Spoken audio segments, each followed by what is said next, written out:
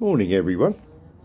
I'm here today with my grandson Ashton, and um, Ash wants to have a go at a chili. I think we had a little go at one once before, was it? Yeah, many times. Before. Yeah, yeah. He's had a couple of go at different things, but we've not really got into chilies yet. Um, the one I've selected for him to try today, because I don't want to burn him to death just yet.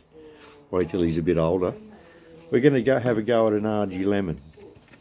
Now, these are only low and mid heat. There's nothing much in them, but it's a good starter pod.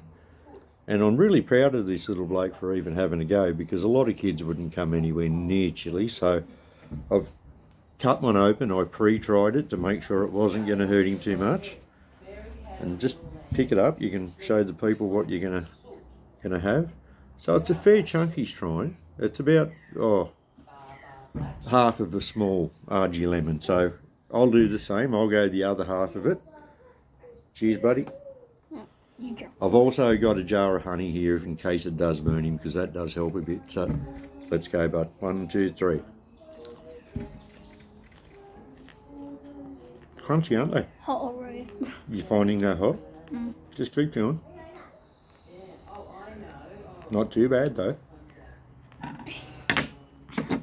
Oh no, it's got him a little bit. You're right.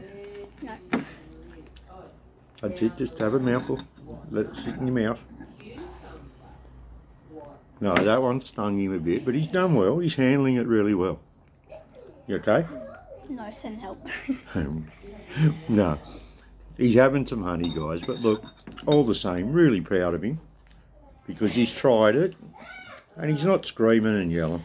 He's done all right. We'll leave it at that today. Actually, that did get a bit hot in the end, so we'll go and get him cooled down. Take care, all. Bye.